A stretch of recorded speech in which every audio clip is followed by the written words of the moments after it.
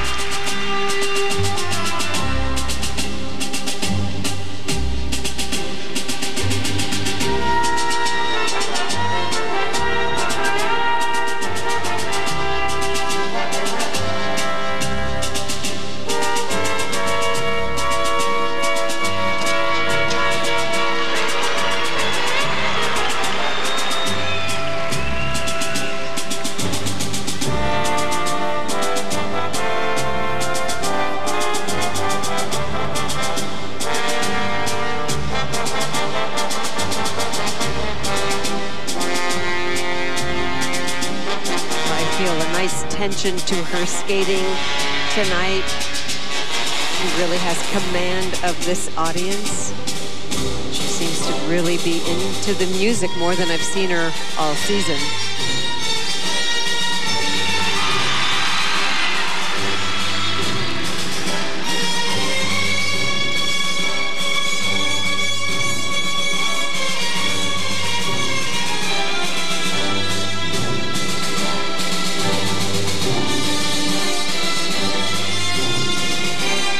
Mathematical, almost a mathematical piece of music, constantly insistent, hypnotic, suggestive, repetitive melody, very little modulation, very little tempo change until the end.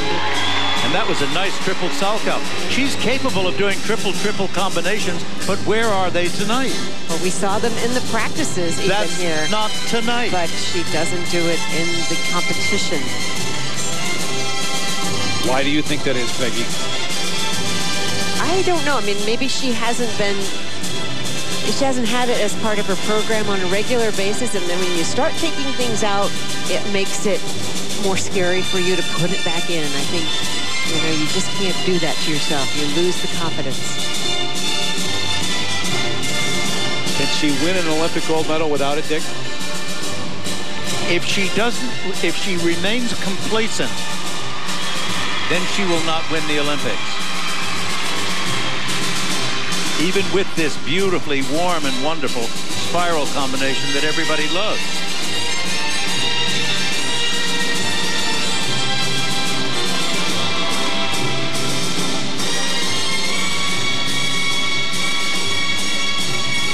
I don't think she gets into this music. It requires a really passionate, romantic kind of approach. And I feel she's just sort of skating last year's program to this music. It's certainly not Christopher Dean's work. She has really pushed through this program to land all the jumps. She has not made one mistake. That's where she's so good. And of course, having Of course, said that, she just popped it. I'm sorry. But I see a lot more passion. This is the straight line step.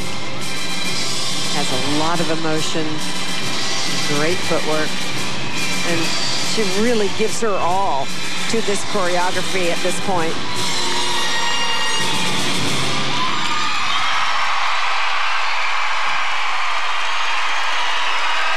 Well, this crowd is not disappointed at all. You could feel the warmth when she even stepped out on the ice this evening, and they love her. She gave this program a very good performance tonight, solid and energetic. But if she's going to compete in the Olympic Games, she's got to up the level. She cannot go around doing triple-triple combinations in the practice. If she's going to do a program of this quality, she's got to really attack and understand it. She cannot be complacent. She cannot be settled. She cannot stick with the status quo. But this was the best that we have seen from Michelle Kwan this year. Absolutely. Now look at the solidity of this skating. The good solid edging. First a triple flip, landing very nicely into a double toe. And this was toward the end of the program, this triple Lutz. I felt a real fire in her tonight. I think she really focused and wanted to do a clean program and live up to all the expectations people have of this young lady. And at the end, she knew she had met the moment. We'll see if she wins. Just moments from now, right now, it's Sasha Cohen with the lead, and she's with Peter. Sasha, first of all, how's your leg? Um, it's okay at the moment, and um, you know, hopefully it'll keep recovering. What's the most important thing that you take out of this season? Well, I think just pulling myself together and midway through the season and skating, you know, getting on the road to nationals and then skating really well, getting a silver medal at Worlds. As you look forward to the next season, what are your thoughts? Um, keep working with this new point system and just so excited to start an Olympic year. All right, thanks for your time. Technical merit. Five, eight. Five, All right, Peter, thanks. Find out if Sasha holds on to that lead and wins here. Michelle Kwan, technical merit, five six, up to a couple of five eight. Well, you see, they're just not high enough for the technical merit that she's going to need to make a real challenge for the Olympic title. Pretty good right now, though, as we look to the second set for presentation. All 5.9s, Peggy, and that is enough. Michelle Kwan able to win here in Tampa. Well, very deserving. I mean, she really skated the best we've seen her all season. It's nice for her to end the season like this. More emotion and more passion here than we saw in Moscow, at least I early think on. so, yes. Yep. So Kwan able to win, and she picks up $50,000 for the win here. She edges out Sasha Cohen, comes in second, and then Jenny Kirk able to win that third spot. It was Meissner who beat Kirk at Nationals. Now it's Jenny who gets the best of Kimmie. And remember, Hughes beat Meissner at the Junior Worlds, and now Meissner finishes ahead of Hughes. That's a battle we'll watch for many